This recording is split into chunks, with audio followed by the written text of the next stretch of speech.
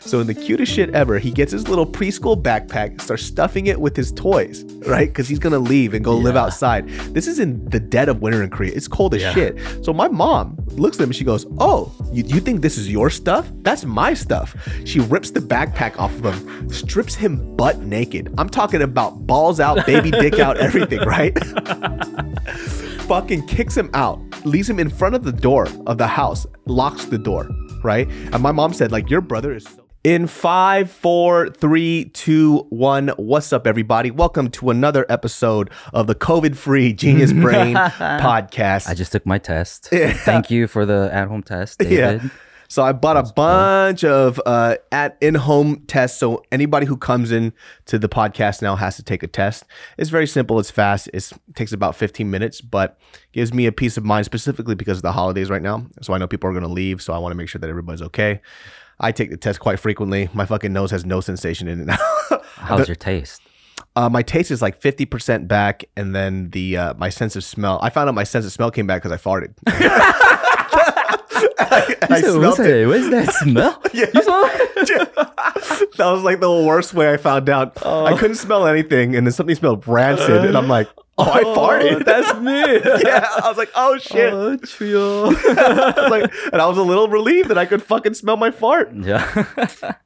That was a weird thing because you know I was talking about this on the podcast with my buddy Gabo, and I think the the the thing that I kind of started to realize too, and I kind of got it before, was just the idea that a lot of people who don't care about COVID, they're seeing it from a very narrow point of view of I'm young, everybody's going to get it, so who the fuck cares? no foresight. Yeah, there's no foresight on it about a virus that most people don't know what the side effects are. So, for example, I was just talking about it with Ed. Uh, found out that a friend of mine, um, they caught COVID and they had memory loss. what the fuck? You know, you know, can't remember shit. So, I mean, that wasn't a part of the the typical list of COVID, right? And that's not what he was Yeah. expecting. Uh, somebody else recently, we found out through our, our buddy Nick that he has a friend who actually just passed away from it Uh-huh. and didn't. I don't know. They she didn't have like underlying conditions, but she just had a kid, so her immune system or whatever was shot. Uh, four kids now doesn't have a mom. Such And- a tragedy. Exactly. So sad. So like you know when when when people kind of have this idea of well I'm young I should be able to survive it. It's like well the thing is nobody knows what happens with COVID yet. There's new things that are being found found out about it every day. We just found out that there's a new strand coming from Europe. So so and it's like the the uh the efficacy of how fast it spreads is like 70% or some shit. It's Oh, way more vicious than the than the current one that we have right now. It's inevitable, right? Yeah. Like when when I found out you had it, and then like all the shit coming down, and Dan said there was like the record number of cases in a day, a couple Mm-hmm. days ago. I just felt like the walls are closing in on me. Like it's gonna happen. Yeah, Like, I'm just what it- gonna get it. You know? And when I had it too, when I was in that room, I fucking was going to lose my mind, dude. yeah. and it only took about one day because I'm not. It's it's that idea of your freedom not being there, and, and yeah, I I'm not in shackles. I could technically leave, but I'm not going to be that asshole that has COVID that's going to walk through a hotel and give it to somebody. That's not going to be me.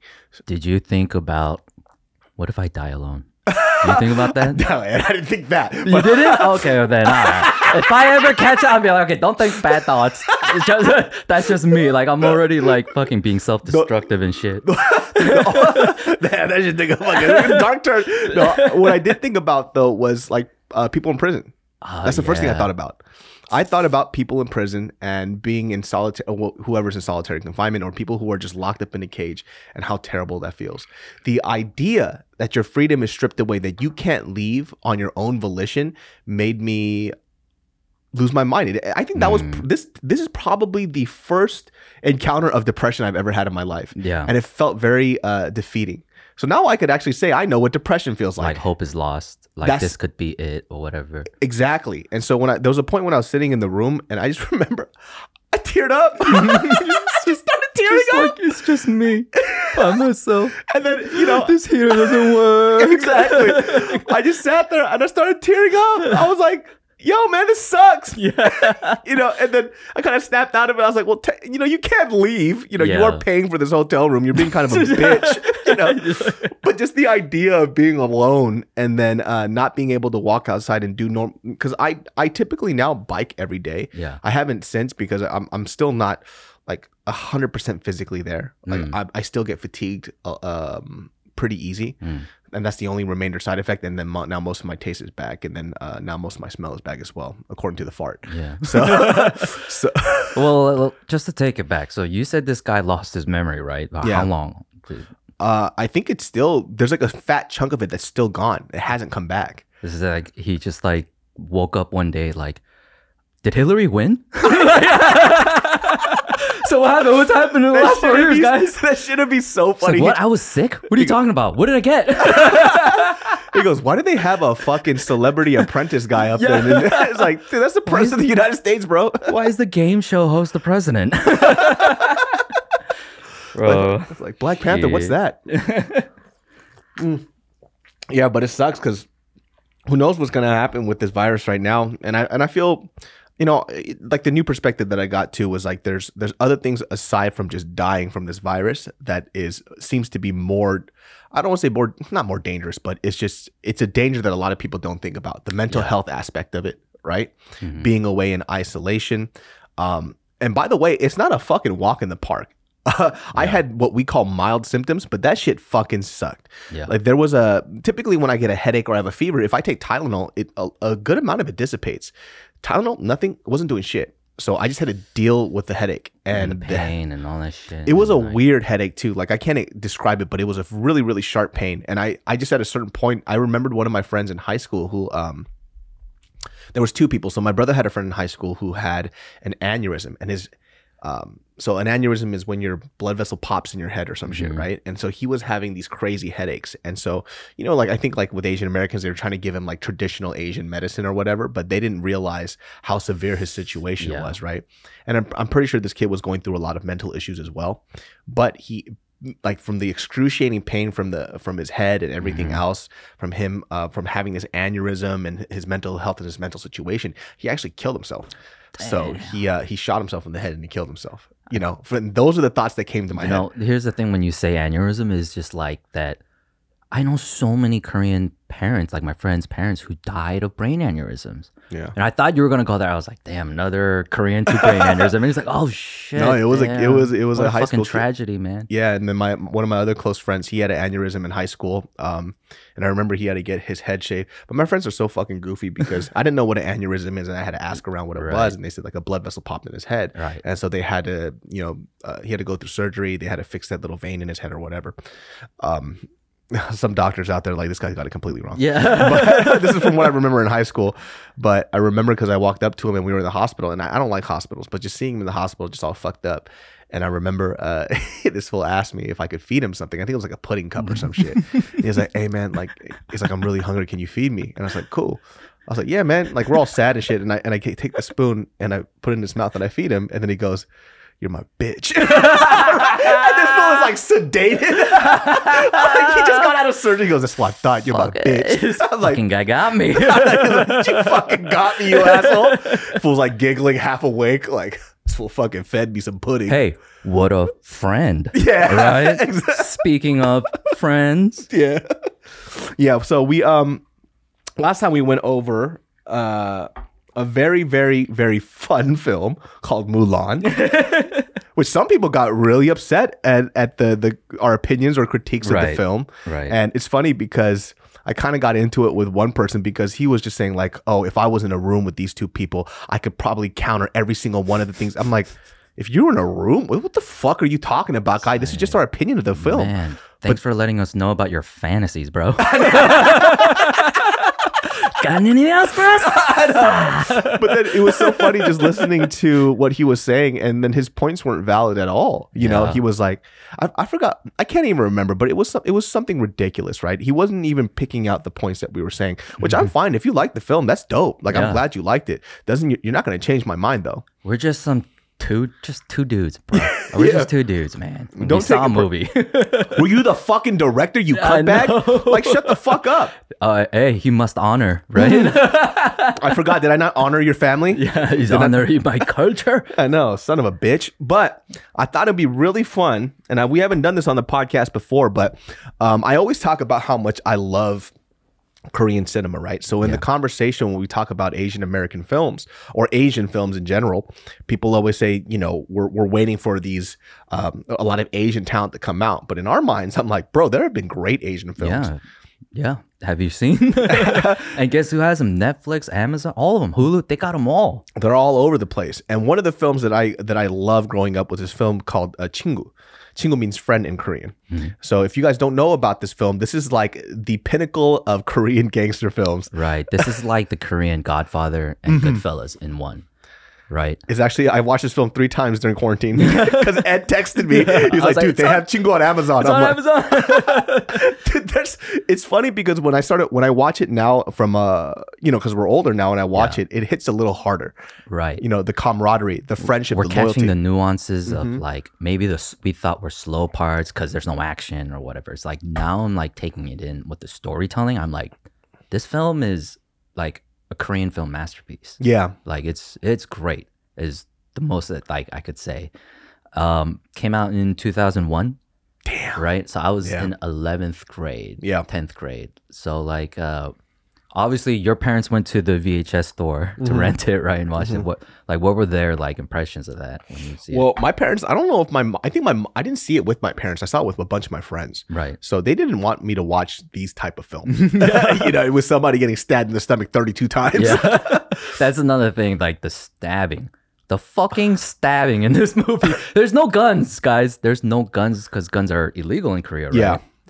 A lot of stabbing and just get ready to stomach that kind of stuff. Yeah, so so in general, if you guys don't know, like Ed said, guns are illegal in Korea. So when you see a lot of gang violence, just like bats, pipes, two by fours, and specifically this uh, sashimi knife Yeah. that you see a lot. Yeah. you know, it's like why is everybody a sushi chef in Korea?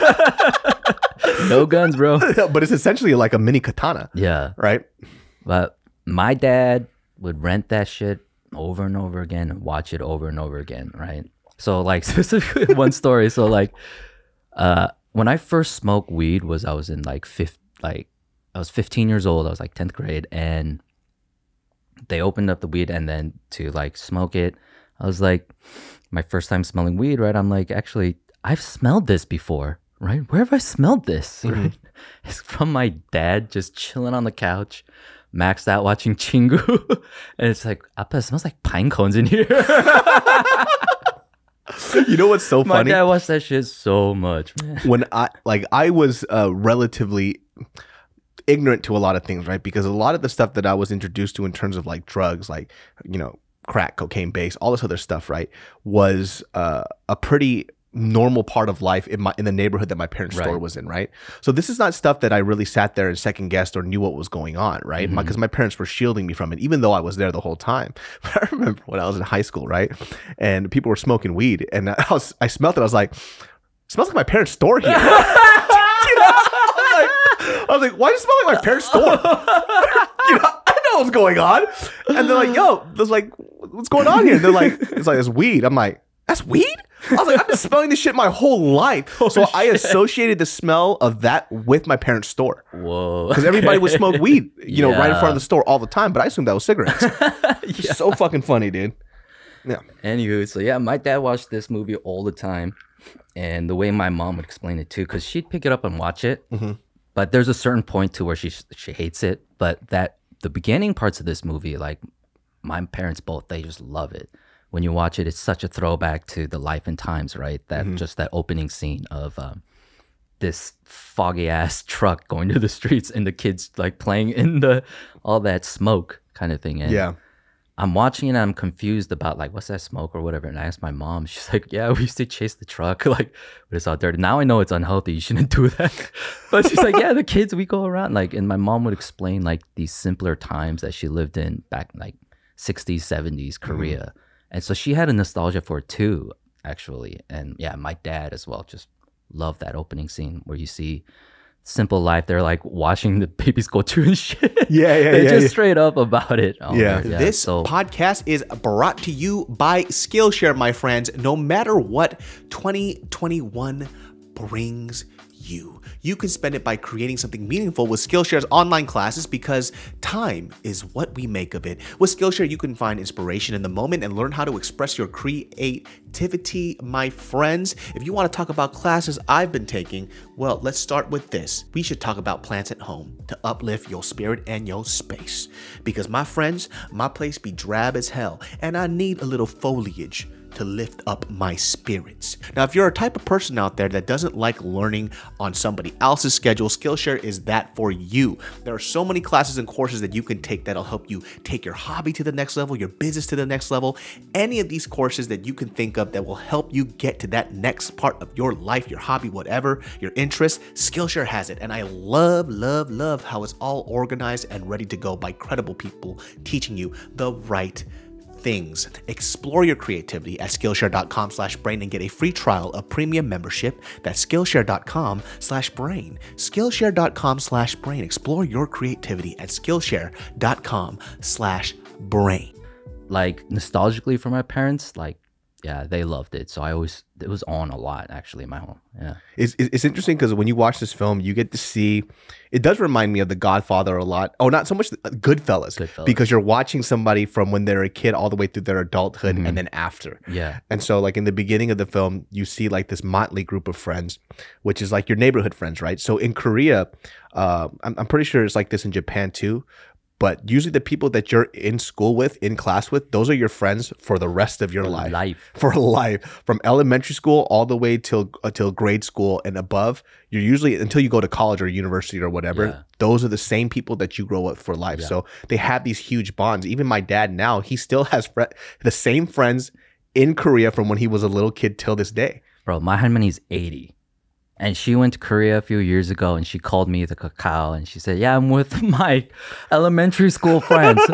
what? Yeah. Like, that's special. Like, Yeah. maybe that's the government system putting the public whatever out there, but man, that's something pretty- special that Yeah. we don't really will ever know, I guess. Exactly. Yeah. So when you see like uh, if any Korean kids are out there and you see a picture of your dad with these people in a group when they were in high school, those are the friends that he had since he was a little kid, since he was in preschool. Mm. Um, so they all kind of go through the schooling system together in the same class and they grow up together in that same neighborhood. Yeah. So it's so the kind of movie starts off with that type of weird friendship, and every person in that group has a very unique personality. Yeah. There's the there's the goofy guy. I forgot his name. So I actually wrote notes. Okay. Because last time we did Mulan just off the top of the dome. Yeah, yeah, yeah. And I, I'm pretty impressed with how long we talked about mm-hmm. that shit because mm-hmm. we were so upset with that. Of course, it burned in my memory for the rest of my life. but because we love this movie, I want to do it right. Yeah. So I actually wrote some notes of like the plot and whatever. So the film follows the lives of four uh, childhood friends. Chun Suk, the leader of the group, and his father is the powerful mob boss. Mm-hmm. Tong Su, whose father is an undertaker, right? Mm-hmm. And he's the second captain, right? yeah, Class clown Chung Ho, Chung Ho. That's the ADD kid, right? And Sang Tek, who is exemplary student, just straight A. He's kind of a square, but they're all been friends since like childhood, Mm-hmm. right? Do you ever like see yourself in some of these kids though when you watch it off the bat, Oh, 100 percent. right? Yeah. Especially from, like somewhat for me is Tongsu, that chip on the shoulder kind of guy. Yeah. Right. And that'll that'll move on. So the first scene is like uh 1974, right? And he's like, My aunt just got a new VHS player. It's like, what is that? A video recorder? What is that? So I think the best part of it, like, is that it's opening up and like um showing us the time and place through technology, something we understand because we're watching a movie Yeah. right? So it's like, yeah, I'll show you at home what it is and what do they put on. Porn, baby. Which is so reminiscent of a bunch of boys. Boys. Yep. Yo, I can't tell you how many nudie mags I found in the forest. Like from literally Flint in the woods hanging out and there's a fucking nudie mag. Dude. In Washington in the forest, there's a nudie mag. Dude, I there's this one kid in my high school, uh, and even before high school. But let me, I just I'll just say this one. So there's one kid in my high school. This dude, it was this black dude. His name was Shane. Guy was a very interesting guy. He used to he used to uh, this is during the time that we would like burn CDs, and this dude shit was so unique because usually black people didn't burn CDs. That was an Asian person thing like, in our school. But then you know he had a lot of Asian friends. I was Yeah. one of his Asian friends, so he was doing like the Asian people shit, which was burning CDs and trying to sell them and shit like that. Did he drive an Integra? he, I, he this fool had uh some fucking uh what, what do you call those those fake spinnies on, Oh, yeah. on in, in his fucking car it was like Yeah, an old jet or some spinners, shit. yeah. yeah. and so he uh I remember this fool would burn uh fucking uh hentai onto these little into these VCD files onto these CDs and he would sell it to some of the black kids that fuck with anime but didn't want to openly Oh, say they liked anime Yeah. but they were he was I was like oh you you you're selling them like anime Yeah. he goes nah hentai I was like so they're fucking watching cartoons fuck each other like, what the fuck is going Dude, on capitalist. That's what these kids do too, right? Mm-hmm. It it shows their innocence because they don't know what uh, pussy is, yeah right? And it's like, what do they call it? It's a pulba. Pulba. It's like, no, but they call it no. It's called a menstruation. yeah they're having this conversation about like womanly parts and stuff. yeah. So it's showing the innocence. Like they're they're like you know problem kids because they're watching porns, but they're still so innocent. They have no idea what they're seeing, kind of thing. But in turn, still, what they do with it is that they they capitalize on it, like your friend, Mm-hmm. and they start selling the porn. And then Chunsuk, the captain, starts acting like the enforcer with this taekwondo shirt on. Mm-hmm. So all this like lifestyle shit is like happening like in their DNA. They're just like doing this shit as Yeah, kids. the hierarchy of their group is already starting to build It's already established. It's establishing. Yeah. So, um, they go to a hobby store and Tong Su Fei finds a fake knife, Mm-hmm. and that's what we were talking about. Just like, um, what do you call it? Like a precursor or like a it's it's it's, it's foreshadowing foreshadowing? Yeah. Yeah. Although it's just like get ready for a lot of knife Yeah. knifing, man. Just get ready. And then um pretty much they it kind of goes forward to high school and they all fall in love with that lead singer Yeah. and um Santek holds a like a party and it's not Santek uh uh Chunsuk Yeah. yeah the leader he holds a party at his place where he gets the band to come in Mhm. right? And when he shows up, the Sangtek, the square, he's there because he wants to meet the girls. And then Chunsuk starts, starts clowning him and busting his balls for being a square. yeah And he gets all pissed He off. snaps. snaps, and like tries to act like a tough guy and shuts off the music. And it's just awkward. like he wasn't made for that shit, right? Mm-hmm. And they talk outside. And then Chunsuk lets his feelings be known. Like, dude, like you're my friend. Why you come here, you know, at my house? Like, by the way, so his dad's a mobster. He has a really nice big house. yeah And Sangtek never comes over, but he only comes over when there's girls. Mm-hmm. And so he was upset about that. And he's explaining that. And so as a peace offering, he he offers the girl, right? Yeah. The lead singer to have a one on one. And what happens? Tongsu. Tongsu gets jealous. Mm-hmm. so he confronts him in the bathroom. Now, what's that say about the Korean culture? It's just like has his pants down with his dick out, just taking a piss. Like, what the fuck, man? It was it, this is also too like it's relationship building because you'll see the relationship between Sangtek and um Chunseok the, the leader. You'll see their friendship specifically throughout this whole film and this is like uh, a, a little gem that they're showing to you and how, how much their friendship evolves. He actually holds their friendship to a very very high standard. Mm-hmm. so mind you as we just mentioned Chunseok is the the boss. He's boss. like the Zhang. Mm-hmm. He is the shit. Scary as fuck. Everybody fears him to death. Beats the shit out of everybody. But he has this really huge soft spot, soft spot for this specific friend. Yeah. And I think what he likes about him is the fact that even though he's so different from him, he still he he speaks to him honestly. Yeah. Always at all times. Doesn't care that he's the, the the high school Zhang or whatever. So he could always count on him to always be honest and be truthful with him. And I think that kind of shows like a little bit of how their friendship evolves throughout the whole film. And the film starts establishing like um Santek's household. They have a very solid family. Like they're eating dinner together, watching TV, and they have plans to buy a house. Mhm. Right. And but then the other guys, it shows their life in the classroom where uh the the ADHD kid gets he has a little comedic scene he's trying to hide and he gets beat, right? Yeah. For me, it shows how Koreans don't believe in ADHD. Yeah. and they will beat the fuck out of you for like, what the fuck is wrong with you? Yeah, so just to give a little background, um, I'm, it's not like this now from what I heard from other people. Yeah. It's not as violent as before, but back in the day when my parents told me that he was in grade school, these these teachers would beat the shit out of these kids For having a bad grade. Yeah, for having a bad grade, not paying attention in class, goofing off. And when I say beat the shit out of you, I'm talking about Watch this movie. like Yeah. like you think it's an exaggeration in the film. From what my dad told me, he goes, no, that's, what it would be. yeah, that's They would happened. sock them in the face, punch them in the stomach, get a stick, beat the shit out of them in class. So one of the very like um, one of the most important scenes is uh, Chunseok and Tongsu are in trouble because they had bad grades, mm-hmm. and so the teacher's lining up all the bad grade students and making an example of all of them, and he's asking them, "What does your father do for a living?" this is such a good scene. Right? Yeah, and he asks them what they do. Oh, okay, so your dad does that, and he bah bah just beats them, and you're getting bad grades when you work so hard. Tongsu goes up, and he says, "My father's an undertaker." right? And beats of shit up. Okay, so your dad works hard and da da da, da. and he gives him the stink eye, Yeah. gives him the stink eye back. So the teacher hits him even more, right? Well, one last time, and then he walks away like a hard ass.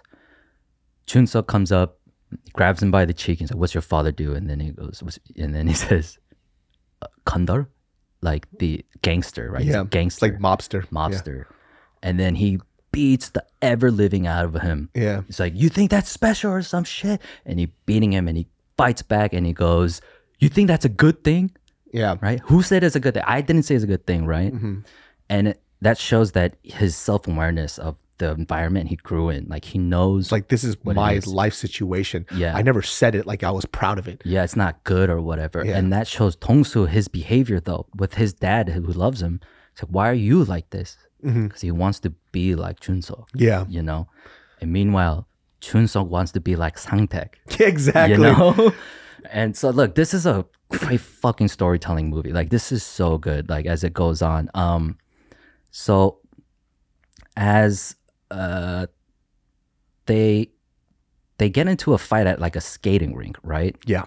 um what's his name Sangtaek is trying to like He's flirting with the. Captain yeah. Sabo. Yeah. and then gets in trouble with some guys, right, from a rival school. And they just punk the shit out of him because he's actually pretty square, Mm-hmm. right? And they fucking put a knife to his neck, right? It was like a barber blade. Yeah. Yeah. And yeah, barber blade. And then the the two badasses, you know, Chunseok and Dongsu come and save the day. And they just school those guys. And then they line them up, make them count up, Hana, and then they let Sangtae beat, just the beat the shit, shit out of him. The funniest line about that too was like when when they come in, and so Sangtae's getting his ass, not ass beat, but they put the the barber blade, um, the razor blade next to his throat or whatever, yeah. right? And then uh, not Chun Suk, but Tu Dongsu. Tongsuk comes in and just fucking sheki kicks the Yeah. shit, kick, and the kid, dude flies up. Yeah. But you could tell how menacing they are in terms of their reputation, specifically as a gangpe Yeah. or as a group. When he looks at him, he goes, he goes, let me see that knife. Let me see it. 보여줘.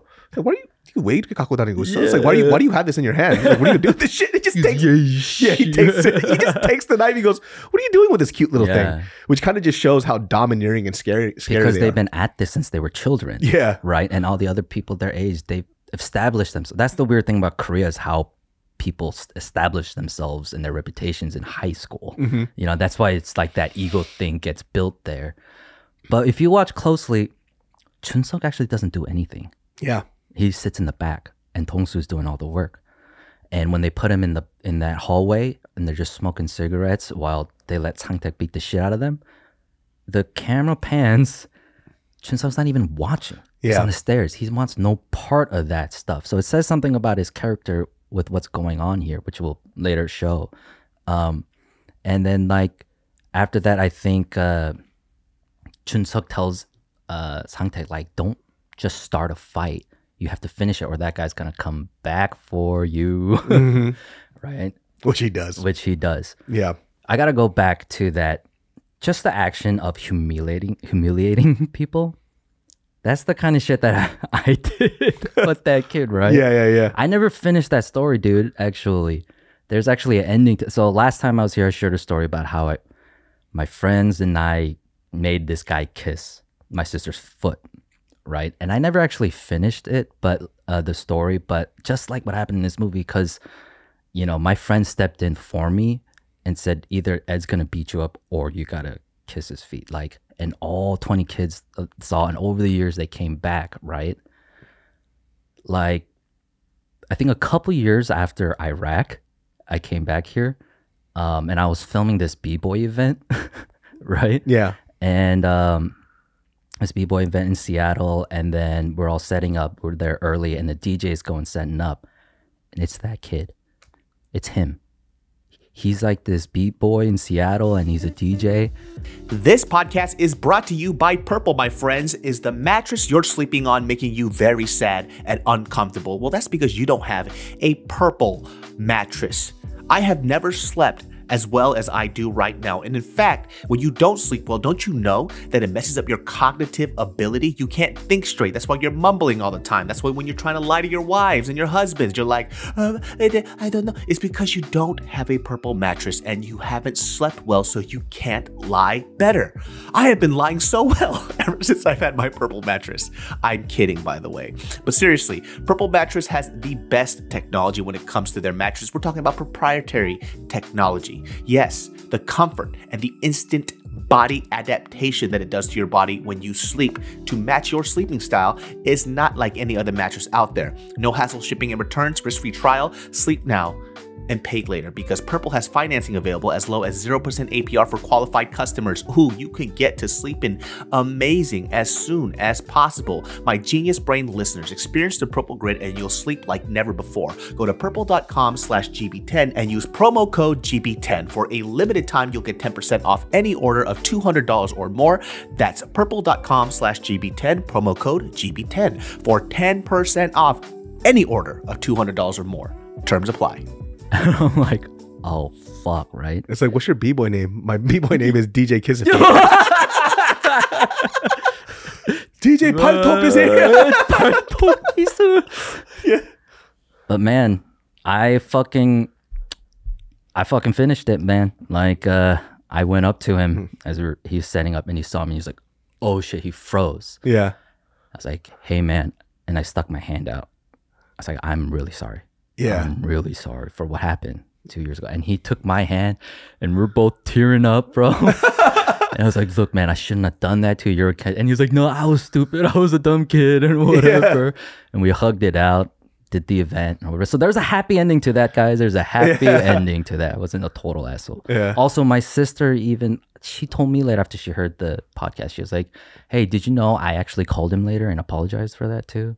Oh wow, that's nuts. Soda, I'm fucking proud of you. I love you. That's so funny. At the b boy jam, he just starts playing R and B music only. it's all emotional shit. mood. It's like, can you not play the Vitamin C graduation song Yeah. as we're trying to b boy, as we're trying to dance here, please? I just like the thing about when I was watching that scene again, I was like, fuck, like my parents didn't teach me that. I didn't we didn't see Chingu and do that shit. Yeah. Like I was like, damn, that's just in the Korean DNA to fucking do something to a motherfucker. It's to like subjugate somebody. yeah, that's the Han, man. That's Yeah. the Han. A lot of Korean punishments like that too, though. You know, Oh, yeah. like tegari pago, like take oh, your hands behind your head. So you, tegari pago, you basically put your hands behind your back. you get on your. yeah, it's just it sucks, dude. Like, and you just gotta hit your face to a fist. There's other stuff too where you have to take your hands behind your back, your feet, and then you balance your forehead and your feet. Oh my god, off the ground. I Yeah, fucking hated holy that shit, dude. That's that shit crazy. sucks so bad. I think part of my like big shoulders is because my dad made me raise my hands for Honduro. hours. Honduro. Yeah. But yeah, like all those, even though it's like terrible scenes for sure, that's like ah, that's us. Oh, that's cool. That's us. So what happens is like because Chunsuk was like finish your fights, it gave him a piece of advice. Sangtek offers him a piece of advice. Go back and apologize. You know, after that that teacher beat him and they walked out of class, go back and apologize, come back to school. Mm-hmm. He's like, all right. And they go and do it, right? And to celebrate, there's this big montage where they race and it's just like they run to the movies just they're still kids right even though they're hard asses mm-hmm. and Then what happens? The rival school kids see him see him at the theater, and a fucking riot breaks out. Just beats the shit out of Sangtek in the bathroom. They beat the shit out of him, and uh, Chun-seok and Dong-soo have to come save his ass. And it's like four versus 200 or some shit. Wild event or whatever. Ultimately, big, big trouble. The police come and, you know, you just hear the police whistles and it fades to black. Yeah. Sangtek in this panic of trouble, this is something he's never been in before, steals his parents' money that they were saving to buy a house and runs away to his gangster friend Chun-seok, right? Yeah. To be like, let's run away to Seoul, Mhm. right? and then what does Chun-seok do though? Just says no. He goes, I'm gonna live my life. You do what you have to do, and they go their separate ways. like the the thing what what what happens is like like we, we talked about before is Chunseok's aware, right? He was like, Man, did you think that I was gonna be like, Yeah, let's go? Yeah. Right? He's like, No, no, dude. Like, you have good parents. You know, go ha- back home to your parents and face your punishment. Because he said when he was a kid, his mom was sick and nobody was taking care of him or whatever. So he ran away from home and he was missing for days, right? Yeah. Until he couldn't anymore and he came back home and all his uncles and his dad, no- nobody gave a shit that he was, Yeah. nobody punished him, Yeah. right? And it's like he was saying, he's like, man, we split up in middle school and got back together in high school, you know? Yeah. If I went to middle school with you, I would have been a good student like you. Yeah. He's like, ha, if those Samchuns fucking beat the shit out of me and taught me my lesson, I would have fucking got my shit together. Yeah. And he's just like, this, this is my life. He's like, don't join me, right? And he Yeah. sends him on his way. It's just like, Which is Beautiful. like, you know, it goes back to them planting the seeds of their relationship and their friendship of how he looks at his life and he's actually kind of envious of it. You know, he's like, I really wish I had what you had. yeah, Like, don't look at me and look up to me because I actually look up to you. you know, Yeah. even though he's the leader and the boss. yeah, But he's looking at him and saying, like, I really wish I had what you had. And he almost, for his sake, he wants to protect his innocence. right, You know, he Yeah. doesn't want to be the person that tarnishes his life. right. You know, because like all throughout the movie when you um when it cuts through um like you start seeing like his dad doesn't fucking give a shit about him. Yeah, his dad does not give a fuck about his kid like as you see it. And so he he has like a lot of resentment right? And so Sangtaek goes home and you could hear his dad scream. Yeah, but they said my mom just opened silently opened the door you know? And who knows what happened. If he got the shit beat out of him it's like he went back home he faced his punishment. He went back to his family. And he, they go off to college right? And they go to visit uh Chunseok. You know it's like some years have passed. Motherfucker is a meth he's like, a fucking fiend. meth crackhead. yeah he's out of it. Dude he, this is why like Koreans have some of the best acting. His face when he's like, you know, shit, I got to, like, I'll tear your pussy apart. Yeah, like, this dude- when they go see him together, they're a little older. They're obviously a lot more mature.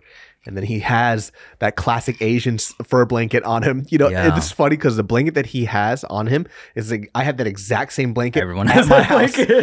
the exact same one, right? Yeah. And he's shivering. He's actually he's actually on a, uh uh he's coming down from a high, yeah, right? So he's going through withdrawals and shit. yeah, And when they open the door, they actually see the girl that they were he was trying to set up Sangtaek Right. with, right. right? And so it's a little shocking. He ends up marrying the girl. Like, and it, it goes back to show that, like, uh, Chunseok back in the day had all sorts of confidence and self awareness. He's like, this girl's already mine. Go ahead and have Yeah. every time with her or some shit, right? But there's a real tragedy to her character too, isn't it?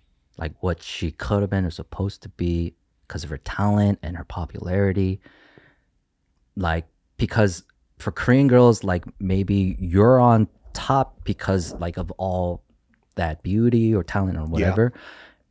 A dude at the top in a Korean high school is a fucking piece of shit. Yeah, yeah.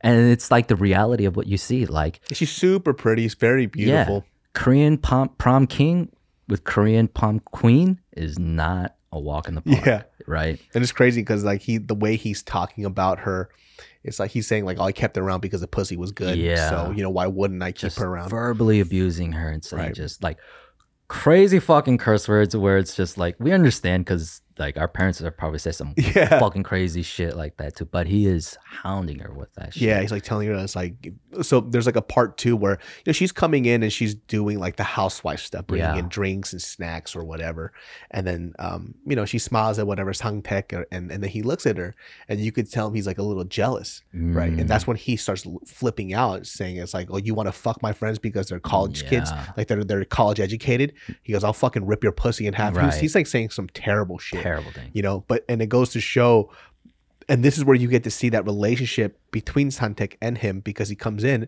and even though this fool's like a cracked out meth head mob boss he looks and goes hey cut that shit out Yeah, like you're doing too much and he goes i'm sorry right. Because Tong Su tried that shit on him. yeah put his hand on him. He's like, "What am I to you?" Mhm. You know, am I- because he was like, "Why didn't you give me this girl?" Right? And he's Yeah. questioning what a friend means to Chunseok, Mhm. Tongsu at this time you know? And he's he's like, What am I, your sidekick? Yeah. Right? If he's your friend, what am I? But Chunsook never answers him, and that's one of his mistakes. He looks back at him with the fucking death stare and says, Yeah. Right? And so in turn, like, which is that thing where you when you're looking up to someone and they're telling it through the story where Sangtang be like, Yeah, right? He's yeah. just like talking down to him. He's like, oh, oh, oh, oh yeah i'm sorry Yeah. yeah Which is wild to see, but like you're seeing the respect that he has for a guy, which later on also plays through. Um, let's see. Tongsu, at that point though, all that mayhem and chaos happened, right? And what's the next thing that he's doing? Because he's expelled from school. He's cleaning a fucking dead body with his dad, yeah yeah yeah yeah right? And his demeanor is just like, fuck this shit, right? His dad's like, 똑바로 잡어, right? Yeah. just telling him. And what I saw that scene, I was like, this guy's not alarmed by dead bodies. hmm He doesn't want to clean dead bodies. He want to make dead bodies yeah you know, because he wants to be like Chunsok so bad. And he's just like looking at his future, cleaning dead bodies for people. And he leaves, fuck this shit. But what's he do after that? He causes this big scene at the school with a bat and breaks all the windows and the trophies and all that shit to make a scene for himself. Something Chunsok would never do. He wasn't even there for that, yeah right? And he's gonna go out there. He's gonna be. He chooses to be a gangster and make a name for himself. to me when i watched that thing that was his saying like i will never be like my dad and he was making sure that he has no way to turn back Yeah. So he goes ahead, makes sure that he will never be allowed back in school. So there's no turning back at this point. Right, no turning back. So, but look at Chunsok's situation as a drug addict. When Changtek goes to take him out to buy a Christmas card, right? Yeah. The reason why, like, the, the drug addict, I could understand it's like his mom dying, his dad fucking hates him, won't buy him clothes for the winter. That's why he's like Yeah. shivering. You know, he, th- he calls him a half human and all that shit. And he's telling him, like, he has nothing to offer. He's like, but if you want someone, me to kill somebody, I'll kill them for you. fucking kill him. I'll kill him. I'll kill him Yeah. good, you know? Um, and that's all he has left. That's like all he is, you know? Whereas Tongsu just wants to be that for some reason, Yeah. you know? And during this time too, um, what after the time lapse happens, they ask where Tongsu is. Tongsu's actually in jail right He's now. in jail. So in order for him to come up in the gang, he has to go to jail. He has to go to jail. And and Junso's like, I already been there. Like three or four times. yeah. so Yeah. like he's seen some shit. And like uh but it cuts to Tongsu coming out of prison. Who's there to see him? Not like the the Korean tradition of when you come out of prison, Tubu. tubu or white cake, something white, like Yeah. purity, like you've been atoned, you you did your time. Yeah. His dad is there doing the right thing and loving him, showing up for him. His gangpe his gangpe friends aren't there. His friends, well, he has no. That's what I'm seeing is he obviously doesn't appreciate his dad. He gets kind of embarrassed, like ah, oh, probably about yeah. his dad bringing him Tubu, and the fact that he's also alone. He actually doesn't have friends. Yeah. Mean, meanwhile, the other guys are visiting Chunseok, you know, mm -hmm. and when it cuts through, um, basically, uh, Chunseok, in order to get clean, he just leaves his father's house, right? And follows the secondhand man in charge instead. And he leaves um, his his current boss to follow this other boss Yeah. his current boss is feeding him the drugs, right? And then there's that scene when he faces him in the Chinese restaurant. Oh yeah. So fucking badass. And he's like, he has, he takes the the knife, he sterilizes it with over this candle, and he, and he literally puts a blade to his face, and he starts cutting. He goes, "Hey, don't worry, it's sterilized." it's okay. and he starts cutting his Dog. face, and he just has to take it. I'm like, "Holy shit, You could have been like, drink this pee. It's sterilized. yeah, exactly. It's like, oh, what the oh, fuck? shit. But he's giving him a speech of loyalty. He's Mm-hmm. like, you motherfucker, I gave you all the drugs you wanted, and this is how you, trust, you treat me? You're going to leave me? Mhm. You know? But that's the way he lets him leave by that fucking knife in his head. Yeah, You know? And and lets him leave. Meanwhile, cut to Tongsu now now back in society. He's at the same restaurant and goes to that boss to get a job now because Chun-seok left and he Mm-hmm. wants to take his place yeah, you know, following in his friend's footsteps. And perfect time, perfect opportunity, and the good money that he sees with it. So the next scene being um, his uh, Chun-seok's father's funeral. So big gangpe funeral and all that. He's wearing the whole get up, hella cool with it. All these shots are so fucking beautiful. The lighting is like this natural. It's so so great. And they're having a smoke outside, right? And they're catching up with what their friends are up to. And he tells him, I'm gonna work for your old boss, right? And then like Chun-seok's pissed because he's like, "Yo, this guy sells drugs to kids." And yeah, so like Chun-seok at this point doesn't fall for this his old boss's loyalty speech. This idea of loyalty of the hand that feeds you is bullshit. Mm-hmm. The hands that feeds you is just toxic or whatever. He's like, don't deal with that, man. But Tongsu's situation, you're like, what is he gonna do? You know, the last job is cleaning his Chun-seok's father yeah, you know? And so Chun-seok understanding each other's situation and Tongsu's situation, fucking, you know, Planet of the Apes when they put the hand Oh, out yeah, for yeah, yeah. That's what it reminded me of. yeah, yeah, It yeah. was fucking the blessing. He got the blessing from Yeah. his captain Mhm. to be his own man. You know, then it cuts, right? Like, well, I mean, he walks out into the alleyway. It's just this beautiful shot. He's like, hey, thank your dad for, you know, doing my father's body and all that. Yeah. He's like, I'll call him tonight. And it just stays on that shot and he just walks into the darkness. And it's just like, what the fuck? When I was a kid, like, this is such a beautiful fucking movie, yeah, man. yeah, yeah. There's so much story to it, guys. You guys, you gotta, you gotta watch it, man. And then whereas it cuts to The the, time, highway. the highway, the time skip. yeah, the time skip. So it's like 1990, 91. Uh, there's a cab going, and then we're seeing a POV of the limo that Chun Seok's in, Mhm and then he, this whole crew they s- pull over this taxi, and they see, you know, twist of fate. It's Sangtek. Yeah, 친구야, 친구야! And then they fucking hit the window and all that shit. This will literally almost curb the taxi off of the fucking highway just Yeah. to stop him like a fucking gangpe would, you know, Right. just to see his friend. And the next scene is just like Oh, the best so scene. beautiful. Like Yeah.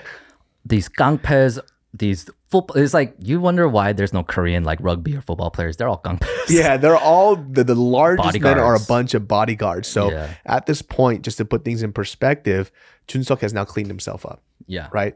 So he has actually made a, a big name for himself within the mob gangpeg group, Mm-hmm. right? So he's very well respected now. He's off of drugs. He's not doing any of that shit, and now he's running shit. Right. Um, as one, there's there's still the older bosses, but he's like a step below Yeah. that. So he's very well revered in- Yeah. within the group. So the the movie is so brilliant when it starts showing the journey between um, Tongsu and Junseok here, because while they're drinking and hamming it up over some kalbi, um, Junseok's talking about the fucking reformations he's making within the gang, Yeah. within the fucking like organization, and how he's taking care of people and his and whatever, and he's doing like innovations within the insides and trade deals, da da da da da. But Sangtek is all drunk and shit. He doesn't even respect Chunseok at all.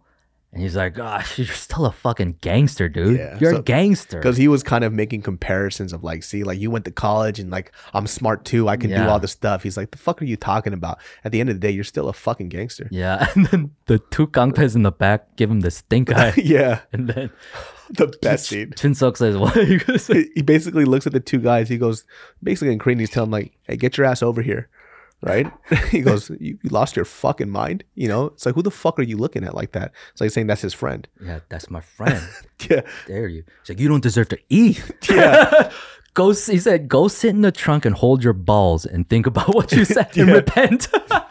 so the crazy thing about this scene, it goes back to how much he respects his, the friendship that he has between him and Sangtek. yeah. right? So and they don't those two they just see oh somebody's talking shit to our boss so we got to do something And- but they didn't realize they st- overstepped their boundaries like mm. you don't ever speak to my friend that way Like what's even Sangtek doesn't realize the power he has being Chunseok's friend. yeah Is Chingu. and he's just like oh we're just friends Yeah. yeah yeah. And it's a thing though, like when you see this shit, like Chunseok takes it on the chin every time Sangtek tells him what's up, yeah you know?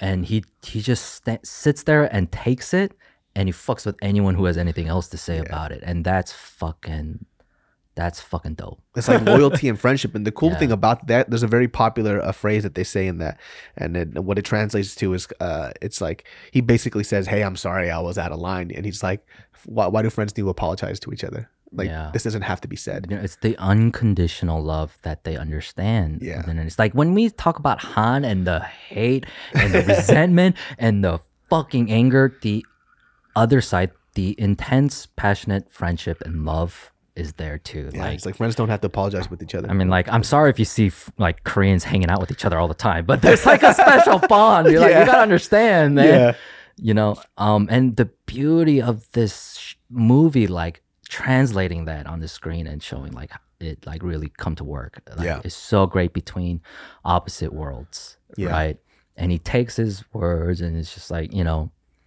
uh they cut to the scene like i've seen this shit where my dad's friends would try to like obaba them like carry them on their back they're all drunk and shit Oh, that scene is the best. It's, It's so, good. literally he's drunk and he's giving him a piggyback ride. He's like, "I've been waiting to do this for you." Yeah. you know. And then, but it's still in the most gangster way.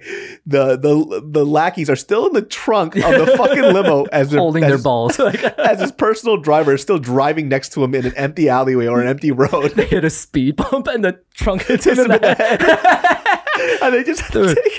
And like, I wish like people understand the subtlety of Korean humor and filmmaking. Like, they didn't say shit; they showed it, and Yeah. that's like that's filmmaking. Like, Korean filmmaking is top notch. We love it, guys. We love it. It's the best thing too because even then, like Sangtek in his ultimate wisdom and nice guyness, he goes, "Hey, that's enough. Let them out of the truck." and he goes, "Oh, okay." He, and he looks at his two lackey. He goes, "Are you guys tired and hungry? you guys want to come out?" He's like, he's like, young name." Yeah. he's like, and he goes, "See, they're fine." they just stay in the truck as this bounces and the top dude. of the truck is smacking their head. Oh my gosh, dude.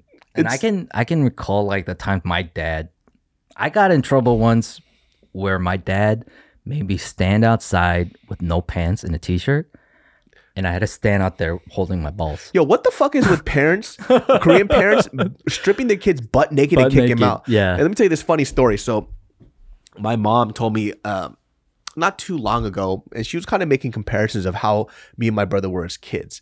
And so my mom said, like, my brother was a very, very stubborn child. Yeah. Like, if if he was set on doing something, he was going to do it no matter what. The kid had balls. And I was like, what do you mean? She goes, well, one when we were in Korea, and you were really really small at the time and this is when your brother was about four years old so he was in preschool so i was washing dishes and i was telling your brother to go clean up his toys and he ignores me and he just continues to play with his toys. And my mom goes you know Pyongguga, like I'm a, I'm a count to three. If you don't clean up your toys you're gonna get your ass whooped right? Looks at my mom with like this look goes i don't care starts doing whatever and she goes hey and then my mom you know my mom's a thug. She don't give a fuck. She goes she goes i'm gonna beat your ass. She goes do you, do you want to live outside? This is my house. He goes fine i'll go live outside. This is a four-year-old kid right? So he'll, he he goes fine i'm gonna go live outside. So in the cutest shit ever he gets his little preschool backpack starts stuffing it with his toys right because he's gonna leave and go live outside this is in the dead of winter in korea it's cold as Yeah. shit so my mom looks at him and she goes oh you, you think this is your stuff? That's my stuff. She rips the backpack off of him, strips him butt naked. I'm talking about balls out, baby dick out, everything, right? Fucking kicks him out, leaves him in front of the door of the house, locks the door, right? And my mom said, like, your brother is so stubborn. He didn't cry for the first like 15 minutes. And he just stood up. It was dead silent. And she goes, "What's going on?" And she kind of looks out the window, and he's out there not crying, just like stubborn, still upset. And for 15 fucking minutes, butt naked outside until he goes, It's like, I fucked up. I'm so sorry. Yeah. But that's like that's the thing. That was like the Korean punishment. It's like I actually this is my stuff. Like you're a guest in my house. Know your fucking role. You know, know your fucking position. I gotta tell you, you know, whenever I got a beating, like my dad would challenge me in a way, like, how many lashings do you think you deserve this time? Right? And I'd have to come up with a number. and he'd determine if it was too low and he'd say why it's too low and shit. It's like so I'd have to figure out exactly what my punishment was worth. The Like- worst thing. And my dad used to do that thing where he would bring out his fist and tell me to punch Toggle. my Yeah. It's like, you have any idea how, what kind of sadistic fuck you have to be to tell your kid to punch their own face into your fist? Oh shit. It's like I didn't beat my kid. He beat himself up. he ran, like he fucking ran into my fist. I didn't I didn't do it. He I did. did. He it was did it. consensual. He was consensual. He enjoyed it. This wasn't a Me Too beating. Like he did Oh, man, himself. The, It's the fucking loopholes, man. He's like, how's this domestic abuse? oh, this is American dream. They made Korean Korean Oh, punishment fit inside of. America oh my god! by making us punch ourselves into their fist, dude. so fucking funny. Oh man. And anyway, uh, back to the movie. so we're seeing Chun-suk. He's a the fucking man. He's the fucking man, right? And Tongsu though, who is he? What's he up to, right? First scene, you just see this girl kind of clicking some heroin, and you see some booty and some muff diving. It's Yeah. like raw, and then they're passed out on the bed, um, and psh, you see a flash, right? And it's Tongsu and his crew. They're extorting this. They're blackmailing him to extort him for a contract, a construction contract Yeah. which he gets that drug dealing boss to win the lottery to do. So he's doing shady shit but he's doing it out loud. He's letting it be known. It's like so that his name gets out there. And meanwhile Chun-suk is doing it the other way where he's like really bringing reformation within. So when you see them at the karaoke and they're sing and he's singing my way by uh i did it my way by uh frank sinatra. Yeah. like man beautiful filmmaking from a korean perspective of a gangster like doing a frank sinatra song Yeah. there's a little hint in there right and he truly does do it his way the Yeah. entire time meanwhile tongsu's doing it chun-suk's way Yeah. from what he thinks he knows Yeah. right Like this is what a gangpe is. yeah, this Yeah. is what a gangpe is, and he's looking up and uh, up to Chun-suk still behind the scenes. And when you see like uh let's see, let me bring it back to my notes. You know, there was this. I think there was a scene before that that was very poignant, right? Because he's that that karaoke thing was them sending him off somewhere, right? Oh, oh Sangtaek's going back to America. Exactly. He's going back to America, but he goes see. He's getting like a suit tailored onto oh, him. Tongsu's getting a, a exactly. yeah. And there was one part that sent chills through my spine because it showed the the tumultuous relationship that they have, where Tongsu is still trying to be either an equal to him or better, Better. right? Still trying to show something, but he does something very, very small that speaks volumes. So he's like, "Hey, our friends are going to leave." He's like, "Oh," okay. he's like playing it nonchalant. He goes, "Well, I'll see." He, like he doesn't acting like he doesn't even remember who Exactly, is. right? This bitch. yeah, it's like, "Oh yeah, I remember him." Blah blah blah blah. He goes, "All right, we'll come either way," and he puts his hand on his shoulder. Mm, Pop, right? And that you could tell it pissed him off. Yeah. Like even till now, I'm still your fucking sidekick after I've done all this Yeah. shit. Because Tongsu's bodyguards have taken over that boutique, right? Yeah. They're fucking running amok. Mhm.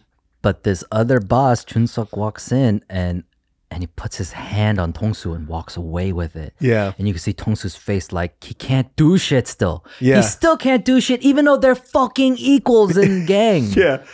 Like that's fucking baller of Chun-suk, Yeah. you know? And Tongsu still feels that fuck, I'm still like underneath this guy, right? And like, I, and, and it's weird because of the way, like Tongs, like he, the way he's interpreting it is different from the intentions intention of Chunsuk. Chunsuk is not just doing that as we're friends. Yeah. You know, I'll see you around. Yo, bro, our bros are in town and all shit. He's acting like he's the fucking big shot because he kind of is. He built his way there. He made it, Yeah. right? But, but he goes to his dad, Goes to his dad to give him the money he's made. Oh. What's his dad do though? Because you think I want your filthy fucking money? You know? Yeah, this blood money, the people like all this shit. It's like, when did I ask you to be a gangster? When did I ask you to make money and all this? I never asked any of all Yeah, like dude, vice versa, us and our dads. Yeah. yeah, exactly. Yeah. Because of that chip on the shoulder Tongsu has, like to be more than a fucking undertaker. Yeah. Like the thing is like um one of the most important parts in the scene comes when Tongsu puts into plan to get Chunseok's boss in jail. Yeah. Chunseok's boss gets busted, right? And what's Tongsu doing? He's out um, at the dock and he's smoking a cigarette. And one of his lackeys pulls up to him, like the job is done. And Tongsu asks him that question that he asked all his friends when they were kids: Who would win in a race, right? An Olympic swimmer or a sea turtle, right? And the guy's like, huh? And what that's that whole like debate, right? It happens in the beginning of the movie, right, where they debate about this, and then this is the second time it comes up. What do you think about what the fuck that like sea turtle and the Olympic swimmer race like was talking about? It's the tortoise and the hare thing. right? Tortoise and the like the length of the race versus, you know, I I looked at it like they were arguing that a sea turtle is a natural in the water. mm, So, that's Chunseok. He's born and bred gangster. this is what it is. this yeah. is what it is and this is his lane right for tongsu he has to adapt to the water and learn to swim he has to learn how to be a gangster yeah. right and then when he asks his friend that he realizes that he's not a turtle he's not the sea Mm. turtle right even though when he was a kid he's like he knows a sea turtle would win they're the natural in the water Yeah. but in the natural, he is a, the Olympic swimmer. As hard as he tries and gets up to the top, he's no whoever wins the race. The sea turtle's a natural in this game. Yeah. You know, as hard as Tongsu is working, he still feels like fucking Chunseok's sidekick Yeah. and shit. So Tongsu takes down Chunseok's boss, Yeah. and um, but what happens is Chunseok's cousin, right, who's in Chunseok's bo- uh, gang, without Chunseok's knowledge, Takes it upon himself to go take and a kill him. hit Yeah. on Tongsu. And then one of the most badass scenes ever. Ugh.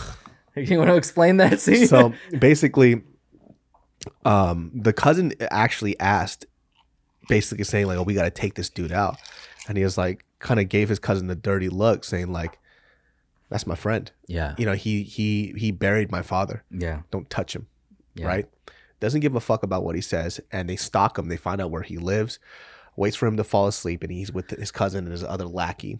They go in to murder him.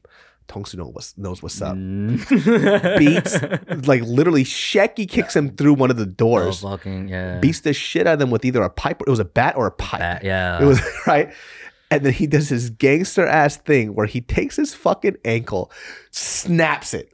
So fucking badass dude takes that look he's an undertaker's Mm-hmm. kid. He knows anatomy bro. Yep. He knows anatomy. He takes the knife. They don't show it. It's like I, when i was a kid i thought he probably like cut his achilles heel. Then i saw i saw the devil. I was like maybe he fucking cut that foot off. Yeah. He broke the bone and cut the foot off ooh the pain that's when it starts yep this is when the knifing starts get ready So the cool thing about this film too, when you see a lot of gangster films that came out of this, it was just a lot of gratuitous violence from beginning to end to the Yeah. film. This film doesn't actually have that. There's a there's a lot of focus on relationship building yeah to get to the point. So when you see these gangpe situations happen, Mhm. the buildup is so good. Yeah You know, because you're used to seeing everything. There's this weird, uneasy air between everybody in the film, Mm-hmm. but you're just waiting for something to happen. And that hit that he's assuming that it was Chunseok's idea yeah is the is the straw that broke the camel's hump at that point. he goes, and- "Oh, it's on now." Now it's on, and Tongsu now is out for Chunseok. Mhm. Like we were never friends. Right. It just confirmed of what it, it basically confirmed his deepest, darkest fears. Right? We were never equals. None of you ever considered me as friends. and so Tongsu enacts revenge at the docks. Holy shit. Holy shit. I don't know how what do you, if you call it a trigger warning, but it's like this is the movie where I was like when I watch movie with guns, you can see "Ah, Yeah. right. One knife, one knife into someone's stomach makes me cringe so hard. And while this scene is playing out, right, um, beforehand, they're actually showing um, the fucking the Chunseok's bodyguards appreciation, the love they have for Chunseok. Because when he's singing "My Way," they're fucking crying. they respect him, they obey him, they love him, and they feel for him. And then that dock workers, like they're eating ramen together. What the fuck, bro? Why do you want to be a gangster? He's like, I want to be like Chun Chunseok Hyungni. Yeah. Right? And like that ad- admiration. Admiration that they have for him. But Tongsu comes in with his gang. They got the bats, they got the pipes, and, they, got the knives. The sashimi knives, yeah. But in true cinematic storytelling form, what's happening is um, Chunseok's training new trainees because he's hands on. He's definitely about like okay, so we missed a scene where um, you know, Tong Su's doing the loud shit to make a name. Chun Sok is within his own group. He's at a meeting with that fat oh, pudgy guy. Yeah, he's you know, one and, of the bosses. Yeah, the bosses is like talking shit to all of them and fucking them up and like talking shit to Chun Sok. And Chun Sok's like, okay, guys, step outside. And when it's empty, so he starts crazy. laying it on him. You shibar got ton. It's like, you've never even been stabbed. You never went to jail. It's like, this company that you run is for, like, what does he say? For our hyungs in jail, you know, a retirement plan, and for to feed our men. yeah. Like this guy is literally reforming the gang from the Yeah. inside. He's like doing it right. So you can see what Chunseok's doing. Like even though it's like scary and gangster as hell, he's doing like the, good this, shit. This scene is it's gangster, and there's also such a funny moment to it because this guy is literally like the the king that doesn't do anything and just gets fat fat off of its Yeah. people, right? And you have Chunseok, who is kind of like he's. I wouldn't say it's it's rebellious in a certain sense because he's actually under him, Under him. right? But obviously the the respect and what he's done in this group is held to a very very high degree. The bosses gave him permission to stab him. in this moment when he tells everybody to leave, he looks at me and is like, "You fucking fat fuck!" And the guy's like, "What did you just say to me?" And he just brings out that long Korean sashimi knife, Yeah. puts it at the table. He goes, "The bosses in the prison told me that I could kill you." yeah. and they know what that means. They're like, "Oh, that means that every everybody wants me dead, right?" And he goes, "You have basically fed your fucking fat self off of all of our hard work. You haven't gone to prison, done all this other stuff." There's this awkward silence, and he looks at him. He goes, "친구야." and Chun, Ch- like Chunseok's fucking like fucking like gangster gangpe mm-hmm. death stare to him. Yeah. He said Chinguya, I was like, ooh, because the, these actors are so fucking good. yeah. He looks at me, he just turns into a little bitch. He, yeah. goes, he goes, we're friends, right? we, have known each other for years. We're, well, I get it, man. My bad, dude. I'm so sorry, you know? Right. And it puts him in his place.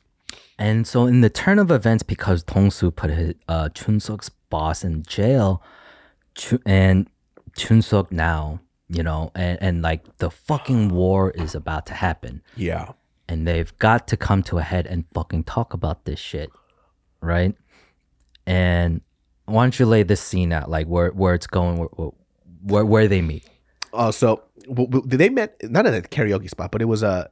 It was a club, like It was a club. Yeah, it was Yeah. a. So this is like the iconic thing that everybody remembers from this film, right?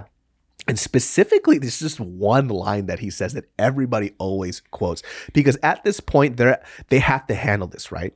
And there's a line that was said uh, earlier in the film that we forgot to mention, which is basically saying it goes back to this uh, the idea of the turtle yeah, and uh, the Olympic swimmer. yeah, It's like I'm just born to do this. Like Yeah. this is who I am. This is my life situation, Mhm. right? Gangsters do what gangsters do. There's there's you you're just asking do what we're told. we just do what we're told. That's what it is. And so they that line comes back in this moment where they're having this little gangster meeting, right? Mhm. And he sits over there and he's basically giving him an, an ultimatum, right? Yeah, Which doesn't really sit well with him because this is back going back to his feeling of what am I, your little bitch and yeah I your gotta little do what you say. Yeah. Yeah, Why do I have to do exactly what you tell me what to do? but you see Chunseok's demeanor. Yeah, it's He's of a friend. coming up as a friend. Yeah. He's a 친구, yeah. which is what he's done throughout the whole film. yeah, You know, except for what he did in the beginning, which we already talked about. That's probably the catalyst to why their friendship fell apart at that point. Right. Because he didn't say, "Hey," he, he just said, "Do you want to die?" Instead of Yeah. that, and that planted the seed of hate in his head. Yeah. Like I don't know what our relationship is. Going back to that scene though, after he goes 죽을래? right, and then he lets go and backs down, right, and then Chunseok leaves. Tongsu looks in the mirror, right, and looks at him, and he says, 죽을래? Says the same thing, Yeah, and you can see him wanting to be Chun Sok in the mirror and to say the same thing at him, which culminates to this scene right here. exactly. Right. He's so, waited his whole life to say this to him. Exactly. And so he's basically kind of being very elusive about the advice, but he knows what it means, right? right? He goes, "Hey, like Hawaii is really nice right now. You know, you should probably go there for a little bit until all the stuff dies out." And he says the famous line that everybody quotes in this film. He goes, Hawaii." Hawaii. So he's like, "Why don't you go to Hawaii?" Saying, like, "Why do I got to do what you tell me to do? If you're so fucking scared, why don't you go?" and like the acting in that like he takes his time and he's just like putting his fingers through his forehead and he's thinking he's getting the fucking courage to say this to Chunseok's face and he says it like a fucking man Yeah. he's gonna but it's about his fucking life too Yeah, It- the offer is like yo live go to go to go to Hawaii or take your chance and give finally get that chance to stick it up to Chunsook. Yeah. And he fucking sticks it to Chunsook. Yeah. Nigagara. Hawaii. And that line just stuck with me. I'm like, fuck, fuck. man.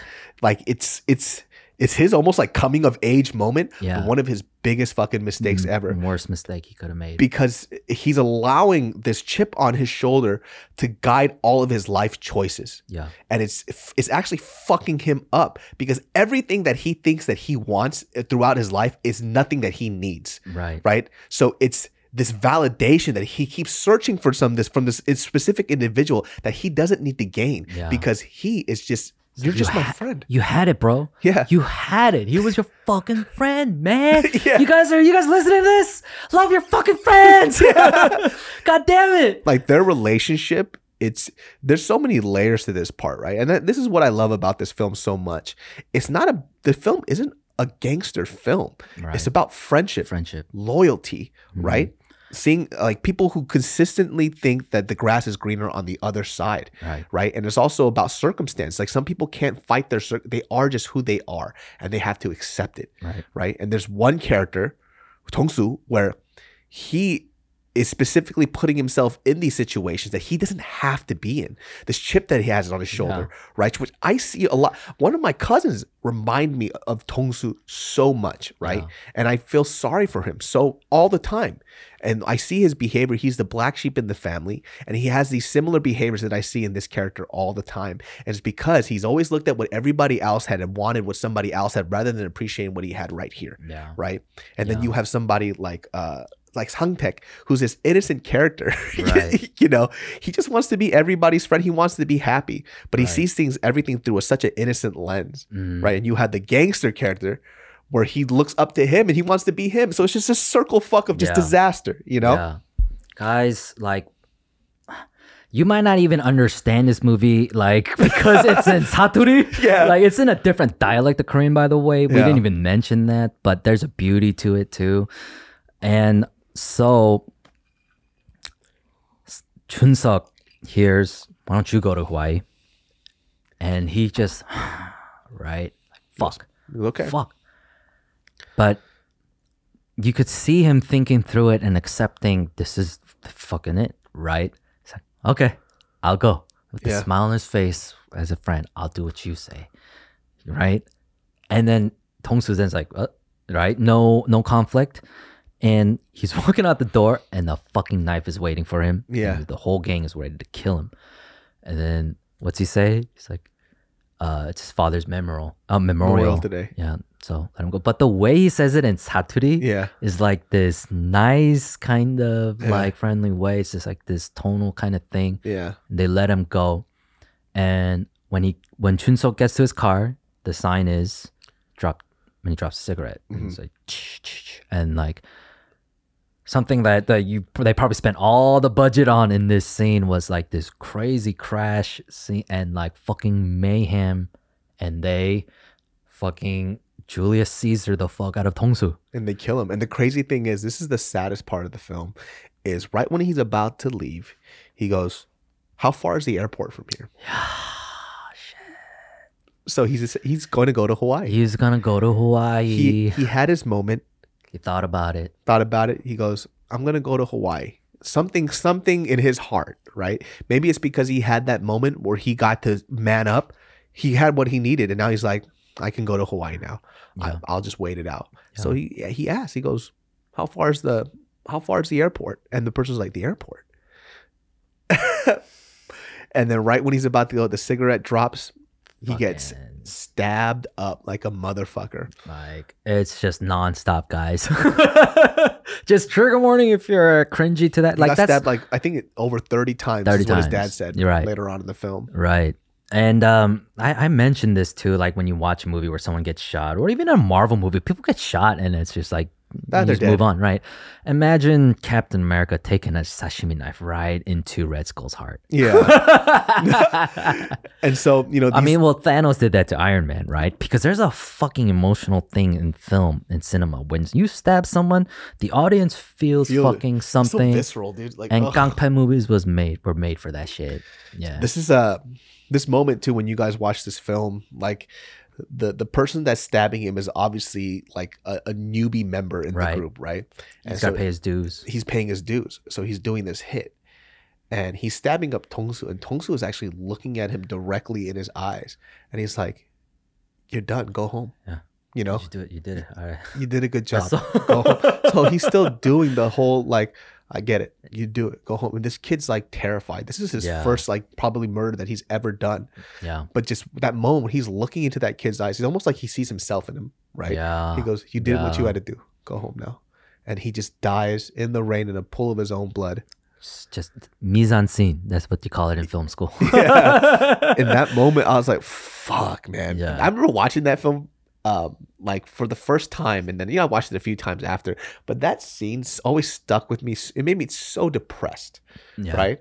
And it's just because he's a he's not even a victim of his circumstance. He put himself there. It's the thing we talked about earlier, like when we were talking about like our dads or whatever. It's the self-destructive natures. Like when Yeah. they're trying to do something good, they just the fucking pride, ego, Han, whatever the fuck you want to call it.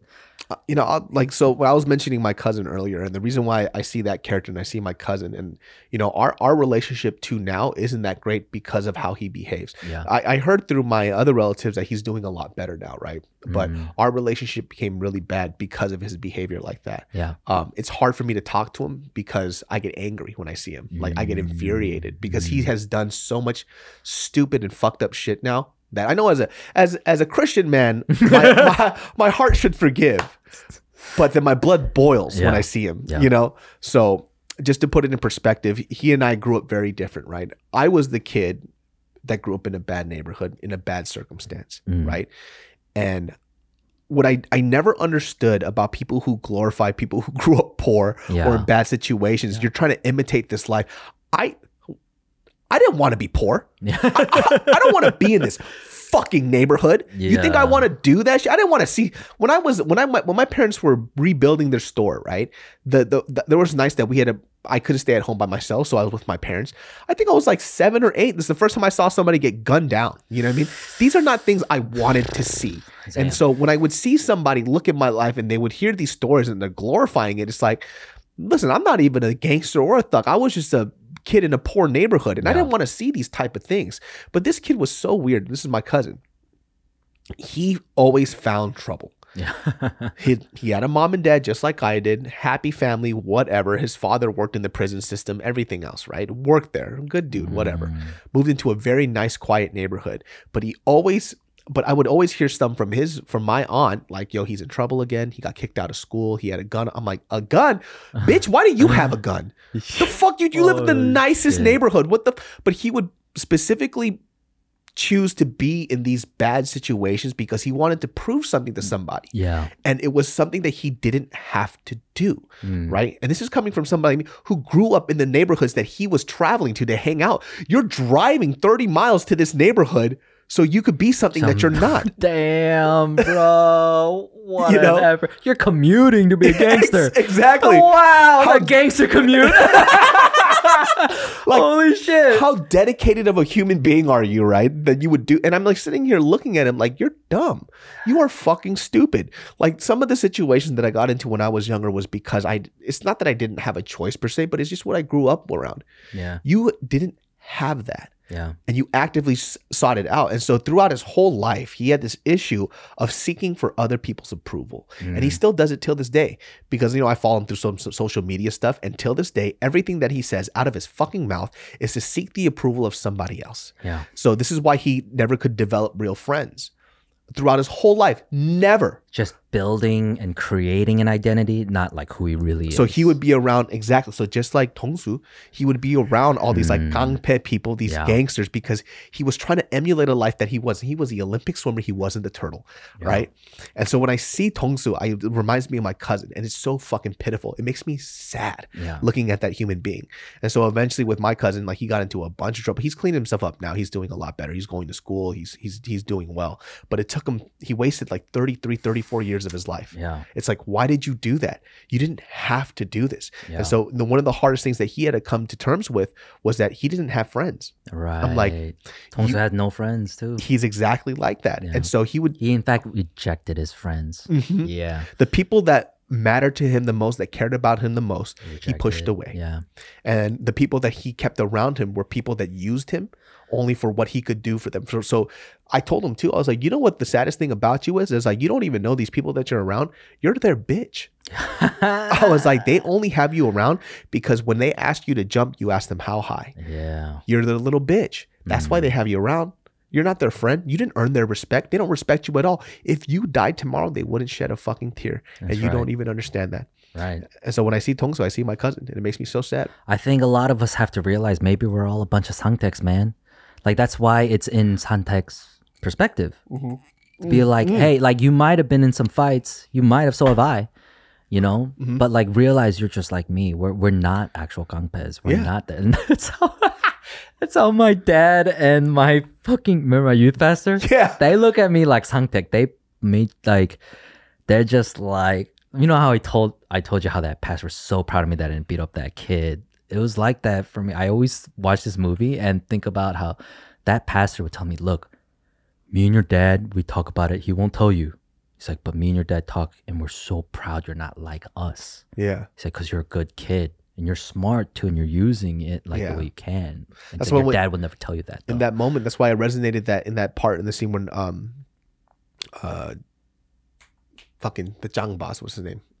uh, Chunseok? Chunseok. Yeah When he was grabbing Chunseok's cheek and he goes, Mm, It's like, what does your dad do? 건달입니다. yeah. And he starts beating the shit out of him. He goes like, who told you that I was fucking proud of that shit? Yeah. It's the same situation. Like, who told you that I was proud of being poor? Yeah. Like, growing up in these shitty situations. These are just life experiences that I get to talk about. This it's is not just my life. exactly. you know? And so when I see some like kids, they do this and they imitate these lives of, of, of glorifying stuff that they're not a part of. It's like, people are just, uh, this is the life. This is their circumstance. So what are you imitating right now? Yeah, I mean, We want to be you. Yeah. we want to grow up with money. We Yeah. want to grow up knowing how this system works. We are just a product of our environment. That's it. Yeah. So you have a leg up in life and you're choosing to ignore it because you're that's what I'm saying. The grass is always greener on the other side. You know? and like I, I haven't there's probably American stories like that that shows Oh, like suburban kids getting into mess or whatever. But Yeah. like damn this movie really shed that light like openly very well through Tongsu, a character like Tongsu. So like I don't know, like if you guys probably have friends you can relate with between these four characters, you'll see yourself. Like this is such great storytelling. You'll like you'll see yourself, your friends in either Tongsu, Chunseok, you know, Sangtaek, or whatever. Like that's why the storytelling of this is just so well done. I But- wish but- you guys got just watch it. I mean, there's a the, there's a Chingu 2 that came out years later that sucked. But sucked, dude. Sucked. It was all about the fucking swagger and the K drama and the yeah, fight scenes. I, I just hated that shit. But take it. you know, at the end of this film, it gets really sad because uh, he actually, uh, Chunseok actually does go to Hawaii because, you know, he murders Tongsu. Yes. It was pretty crazy. It was in broad daylight in public. It was a huge thing, huge investigation. So he had to lead to Hawaii. Sad part about this is that he murdered his friend and he had to live with the guilt. And it, So he gets caught on purpose. Yep. he causes a fucking crazy scene, cuts up all the waiters, cuts himself. So when the police find him, this fucking gangpe, going out like a gangpe, arms bleeding like a motherfucker, and this girl's like trying to mm-hmm. like wrap him up, and she runs to the police, and this motherfucker's drug, just chugging, chugging that alcohol, and like that guilt. Almost trying to kill himself. Yeah, he's trying to kill himself and he wants to get caught. And so it cuts to he's he's in he's in prison and uh Tongsu's father is talking to him, right? Through the through um what's that called when you can talk to somebody in jail? Fuck, why am I blanking it's out? the glass. the glass thing, yeah. Tongsu's father's like, I don't believe you did it. You didn't do it. I know you didn't. You were such a good friend. I had considered you a son, right? And it's cutting between him and their class clown friend, Jungho. Got a lawyer for him. Got a lawyer for him, paid the prosecutors, did all the bribes, right? Gave With the him a little politicians speech, Put it right Yeah, in the little hole. told him his Yeah. defense. This this character, comic relief through and through, but still like. it- here's here's the problem. Like, Chunho is being the friend the way he thinks he should be a friend to Chunsok, Yeah. but Chunsok's not asking for this either. Yeah. He's not looking for a way out. This goes back to the conversation they had when, like, yo, I ran away from home and my uncles and my dad didn't do shit. They didn't punish me, and if they did, I would have known better. Right? And he's just blank listening to to this information. His the guy who murdered his father doesn't believe he did it, and his friend is like telling him, You're out. You got this. You're you know, you're free. And he's blank. He's fucking just speechless, just taking it or whatever. Then it cuts to the court scene, and then they lay out the case, and he confesses. He fucking confesses of his crimes. He says, I did it. I told them to do it. I knew these people. Yeah, it was all a part of it. And everyone's shocked. The crowd is shocked. The fucking prosecutor's shocked. The judge is shocked. Everyone's like, what the fuck? Yeah. right? And he it goes back um, to the visiting whatever quarters, and Sangtek's there to visit him, and he's signing in, and they say the relation to the prisoner, chin and slow, cool, Yeah. like, like mise en scene. that, that scene is so sad and it's also very cool because the you know you could tell Sangtek is devastated. yeah, You know because he's trying to question why did you do it, and then why did you do it in the sense of why did you kill him, and then also why did mm-hmm. you do it as in why did you admit to the murder? yeah. Right. Well, the beautiful part is like they get 10 minutes, right? And the first part, they're going through an awkward talk, but they just keep, hey, come on, come on. And So we don't got time for this. Yeah, they gotta be just keep catching up in life, and they're just, he's just being there as his fucking friend.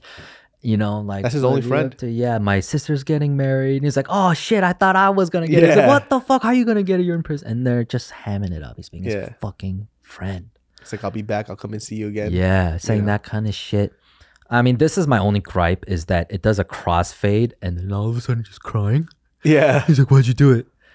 I I, I would have edited a little differently to say Yeah. the time has passed and now it's like the last ten minutes. Yeah. But um, it's the last minute, and he finally just kind of just asked him straight up, right? Yeah. Why'd like you do it? because it's embarrassing because that's not what gangsters do. It's like it's like gangsters aren't supposed to be embarrassed. It's like I choose to be embarrassed. It's like he chose to punish himself because of the way his uncles, his dad, all the other gangpes never punish him.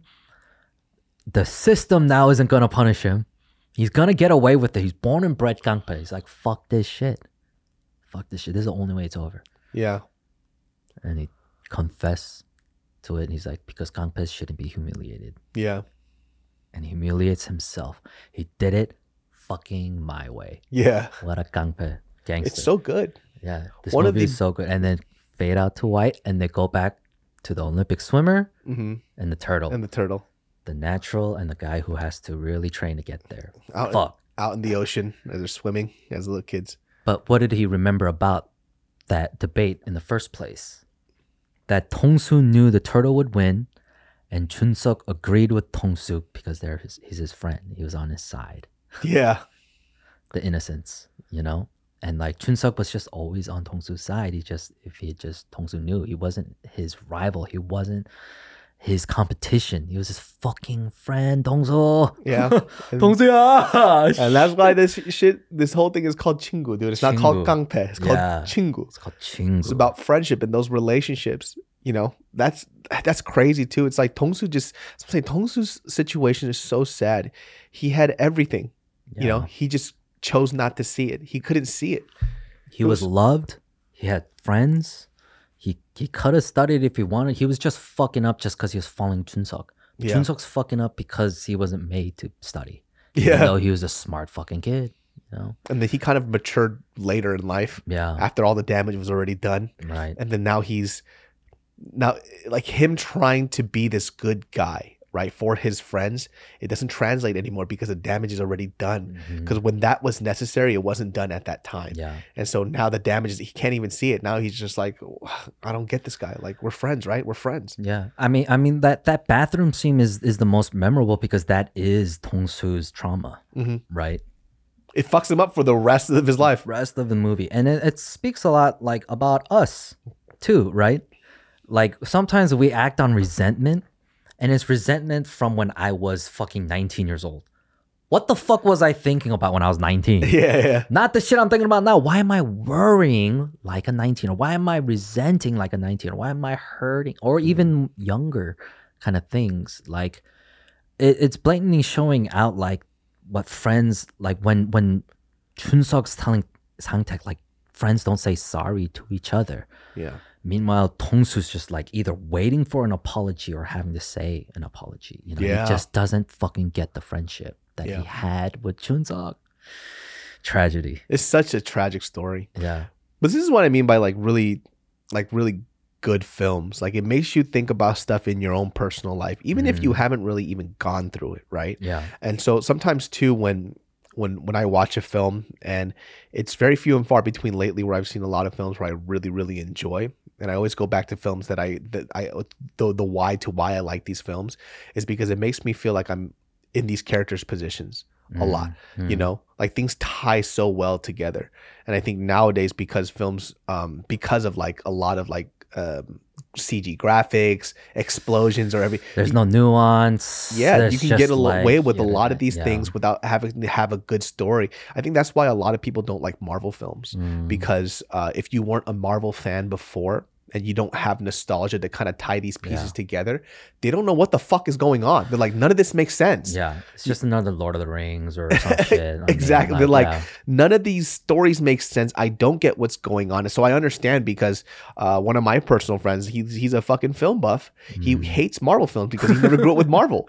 And so he's Hmm. Watching. He goes, "How do they expect me to know this stuff?" yeah, he's like, "This shit's a fu- this is so stupid. Like I don't get this shit. This none of this shit makes sense." He goes, "The only one that kind of makes sense that you don't need to watch is Logan." yeah, He goes like, Yeah. "You don't need to watch it because it's you know it's it's you're basically it's a story about." You know Logan and his life falling apart. Mm. you know, and then try to find meaning towards the end of his life. So he goes like, I can, I can see that, I can get that. He goes, the other films, he goes, I don't know what the fuck's yeah, going because you have to start believing in aliens, and then like, okay, so then there's a stone. Okay, so then there's this. Okay, yeah. Exactly. So it's like the reason why we like these films because we grew up with it. yeah, So we already, there's nothing that needs to be explained. yeah. So, but when somebody sees it with fresh eyes, it's like, yo, what the fuck is this stupid film? Should know? we should we explain Saturi too? Like, Uh, so, so if, if in Korea, it's not really a. I guess it's kind of a dialect, right? But it's country country talk. It's Yeah. like, it, it's not like in in terms of Southern talk in America because you could still understand Yeah. what they're saying. They just have a little bit of a Southern drawl. I would think it's more like us Americans trying to understand Irish people. It's English, but you're like, what? They have their own slang, their own like Yeah. pronoun, all that shit. So it's like it's Yeah. almost like that. Like if you're Korean, you understand what they're saying, but it's yeah, it's different, and it, it's it's got a cadence, it's got a dance. It sounds tonal, Yeah. like Japanese, but it's it's just straight phonetic. There's also like um and they curse really well in it. yeah so so my mom used to speak in us haturi a lot yeah. so a lot of the curse words that i know is actually like country slang Mm. which i didn't know you know i don't know these things. I'm not questioning this stuff as a kid. And then there's also uh like chebudo which is like chejudo like korean language Right. which you think saturi is hard to understand? Yeah. chebudo is i don't understand a fucking word. Like i don't understand anything. Like their words are completely different. It doesn't sound like I think like for example for us dog means like 강아지, Yeah. and I think theirs is like 간생이 or something like that. It's like a different complete. I think my 할머니 spoke that shit. She so she spoke some shigor ass Korean Yeah. where I just like what the fuck. But I understood her because I grew up with it. yeah. Like my mom's side, they're they're all saturi. My dad's side's pretty Seoul, and but man, I get jealous of my cousins because they all speak saturi. Yeah. Like fuck, I wish I spoke it like that. that shit sounds like some country bumping that shit to me. but though. I like. I hate the way that sounds, dude. Because that's how my grandpa spoke, Oh, yeah. right? So when he would ask for stuff, you go, "You go boko." What'd you say? I'm like, what the fuck are you saying right now? Speak Korean, bro. yeah, I'll tell you about how to do. Yo, speak some fucking Korean, Oh, guy. jeez. Yeah, you go moko. You know, I was like, what is this? Another note too is like the the school teachers. They remind me of my fucking church pastors. Oh yeah, for sure, the, dude. like you're not really shit, but because of your authority, you can fucking do this shit to me. Yeah, You know, I mean, I told that story before about those three pastors who who fucking shaded me out of a mm-hmm. thousand bucks. If I explain to you what they look like physically, it's like these fucking fucking pudgy ass, soft ass fish looking motherfucking Care Bear looking bitches. like sometimes I wish I could have brought up my hand like I'll fucking punch you in your goddamn face to these pastors. you know, it's so funny. But they just, I just like took it. Like so Mariel is watching this K drama right now, right? Yeah. And she could sense me getting irritated because there's this one character that is a CEO of this company that's fucking over his his stepdaughter, right? And he has that Korean ajashi look to his face, right? And I'm looking at him, and as- I'm watching this, kid, I don't know what's going on, but I'm getting angry. and I was like, look at this guy's fucking face. And Mariel's like, why are you cursing so much? And I was like, he just has that fucking face that I saw at every church where this ajashi used to fucking talk down to me. Stupid little fucking bald ass fucking. I'm getting hella angry. But it's like, bruh, if I didn't know who the fuck you were, like it just kick you in your goddamn fucking teeth. yeah. You know, like I think that's one of those things. Like that's why I always go back to that old KK pastor. Mm-hmm. Like, so Chunseok tells Sangtek, like, don't start a fight unless you're gonna finish it. It's like, and if you start a fight, like beat him, Yeah. like hurt him till he's a cripple, Yeah. till he's begging for mercy. That old KK youth pastor told me the same thing. He's like, there's no mercy. In in LA and Koreatown, you beat them until they're crying. He said he beat someone till his teeth were out there was blood everywhere and he was holding up his hand while he's punching him in the face. He said, I was trying to knock him out, man. He wouldn't knock out. Oh. And he said this guy was just sitting there like with no teeth, like and he's like, and I just kept beating him until he fell asleep. And he's like, that's how you do it. That's how we did it, Yeah, I never do shit like that. That's fucking you know, nuts. and I was like, okay, I'm Sangtek. I was I'm a Sangtek. So when I, I, I and I told this a long time ago, I think it was on a JK News or something, but I think a lot of the kids didn't understand is because I'm a tech too, right? Yeah. But it doesn't mean that the older Hyungs weren't giving me gangpe advice. Yeah, like we didn't see some shit and have to be there with them. yeah, it would suck, you know. Yeah. And I remember too. It's like because I was a big kid and I was always like the bigger kid in the group, so they always wanted me to fight, right? Whether it was fight somebody new in the group or they would want me to, they would just put me out there. And they would put me in really bad situations. But one of the biggest advice that they always gave me was this: they goes, when you beat somebody, when we're when we're throwing down and you're fighting somebody, they always said this shit, and it used to creep me out. But I understood. They said, if you're not beating them up, like fucking them up to try to kill them, they're gonna kill you first. And so what that means is like you can't punch somebody thinking that you don't want to send them to the hospital Yeah, because that's not what they're thinking about when they're trying to hurt you. yeah. And that was like the scary thing for me. Mm. and, you know, in my mind, as they're saying this shit, I'm like, yeah, that's right. After when I went How old were away, I'm though? like, oh my God, these people are crazy. Yeah, you know? dude. you know but that was their advice but you know, it did save my ass a lot too but that's it kind of goes with that line of like you, you're either about this shit or you're not i wasn't about this stuff Yeah. you know but i just remembered this them telling me that i'm trying to act all hard and shit i'm like yeah cuz that's exactly what you're supposed to do and i walk away i'm like oh my god You're like, all these people are crazy Yeah, I'm like, like i'm not gonna fight anybody yeah. just leave us. 세상에. oh my 세상에 세상에. Yeah, just leave me out. 어, 이 사람이 미쳤, 이 미친데 미친놈들이. 진짜 징그러워. yeah, like uh, uh, when you know in like Tacoma too, like I get those kind of youngs, man, like who put me in a situation to fight my fucking friends, dude. you know, They're Like, why are we doing friend." this?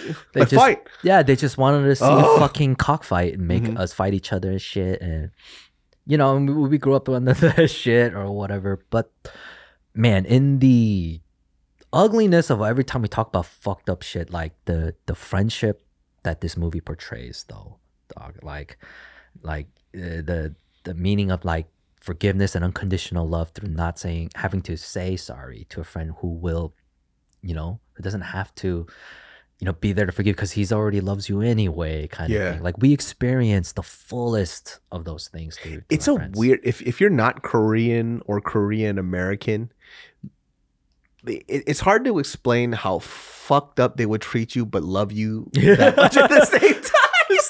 Last week he gave a motorcycle. this week he like bought me lunch and Yeah. he took me to the arcade. This like is this so- young, like it, it would be like some weird shit where they would fuck you up, right? They would Yeah. beat you up, but somebody else would come and try to fuck with you, and they go, "Hey, only I do that to him." Don't fucking touch. Oh shit.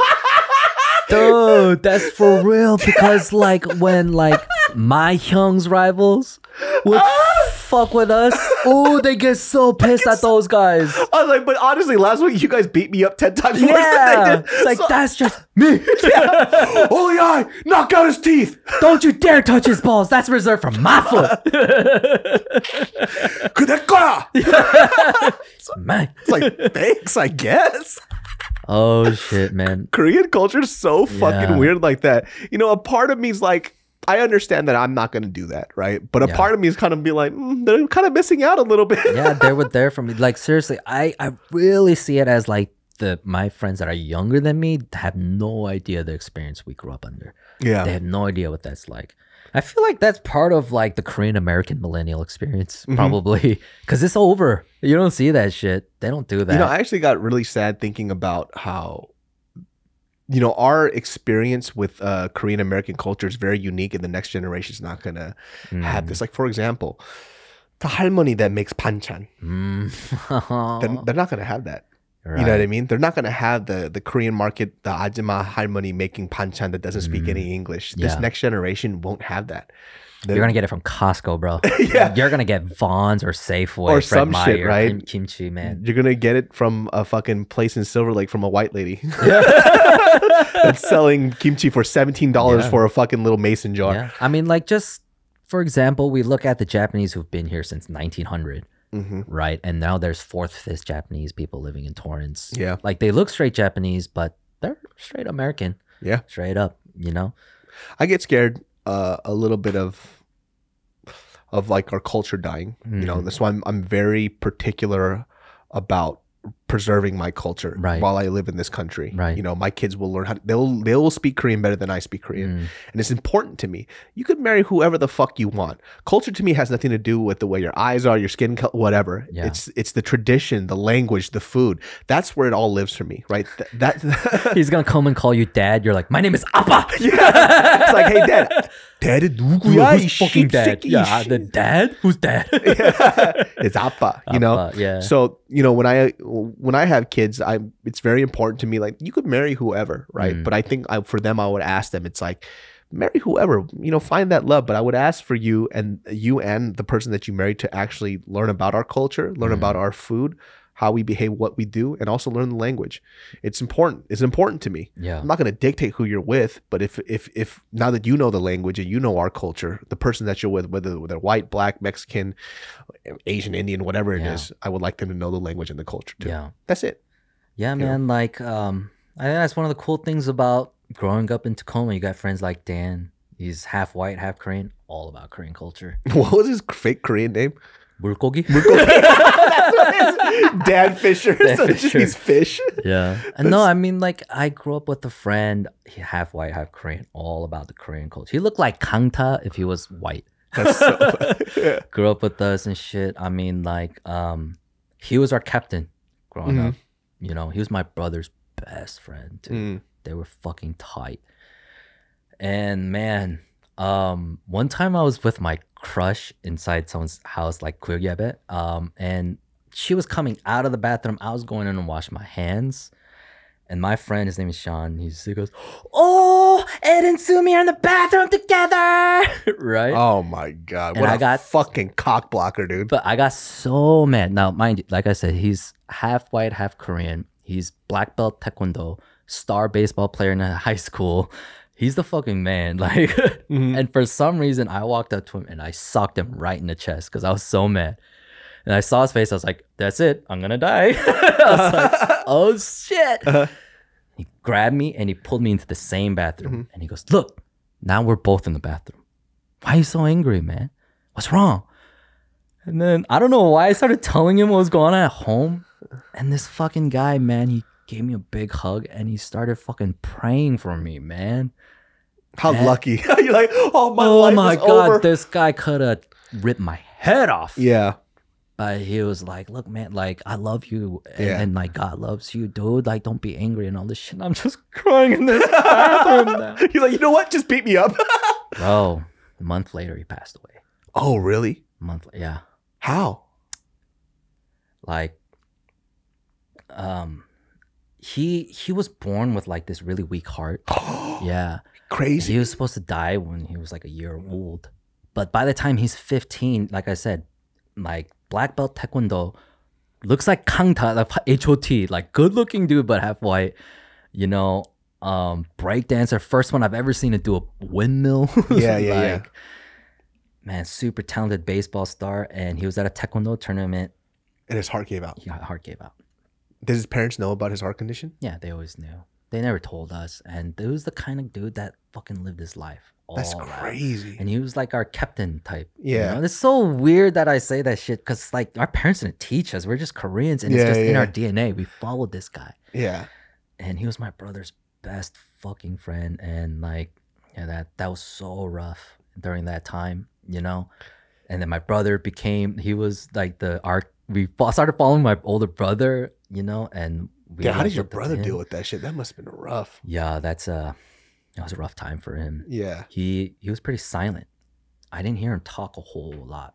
Yeah. he was a very silent guy and came back from the fucking navy as a knockout artist all of a sudden. That's crazy. you know, and so like yeah, like my brother, that's his own story. Like I don't want to tell honestly, but that was his best friend. That was my friend, and I, I see that group of friends growing up, and to see a, Ch- our Chun Sok type just die Yeah. out of the blue. And you always, and you know, when you when I hear that too, it's kind of like a big part of your heart's always like, who would that person be right now? Yeah. You know, who would he be to I us? I swear to God, he'd be in MLB or in the UFC Yeah. or a pop star, Or literally something. Or a doctor. Doctor, yeah, He just yeah. had endless potential, and it kind of sucks to you know my. Well, the, there was somebody in our elementary school. My story is a little different, Yeah. especially because we didn't look up to this guy. But this guy, uh, I guess he had a he had a heart condition too. He had an overgrown heart, and Mm-hmm. he also passed away. I think in uh, he was like sleepwalking. Uh, Uh, this is I don't think this is exactly what happened. up? Somebody woke him up. His heart stopped. I think his um his mom did or his dad did, and so he was sleepwalking. I don't think they knew. yeah. Uh, I mean, this is in elementary school. I found this out, but I, if I look it through my adult lens, I'm pretty sure his mom didn't knew that he was sleepwalking, and they're like, "Hey, mm. what are you doing?" You know, and they ah. kind of shook him awake, but that jolted him, and it causes something happened with his heart. But he had a heart attack and he died Yeah. and this was like in elementary school. And let me tell you something Damn. too. Like the funny thing is, is like me and my brother actually got into a fight with that kid, like a couple, like a few months before he passed away, with him and his younger brother. Oh shit! Right? You guys must have felt Well, terrible. no, I did not. oh because shit! Okay. Okay. you, my story is a little different, Alright. but I remember it's because my brother and I went to this place called uh, Koryo Taekwondo, and they were also they were like in a Robinson's Taekwondo. Right. Let me tell you something. Robinson's Taekwondo and a traditional Korean spot are two different things. yeah. And so they were talking mad shit. This is actually the fight. This is a, a fight that me and my brother both got into with that family, and we fucked their asses up. Yeah. Just to show you the difference between Korean Yeah. Taekwondo, like The Tangsudo, military, mo- yeah. military Tangsudo versus your little Robinson's Taekwondo. Like and the- I remember I Olympic taekwondo, the point my, my, system. my brother did like this spinning heel kick, and I remember I fucking back straight kick kicked that kid in his stomach, and he fucking flew.